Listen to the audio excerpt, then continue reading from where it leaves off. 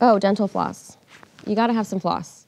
There's nothing worse than having some like spinach in your teeth and nobody tells you. So sometimes he won't tell me when I have things in my teeth. And I'm just like, are you even my friend? What's going on here?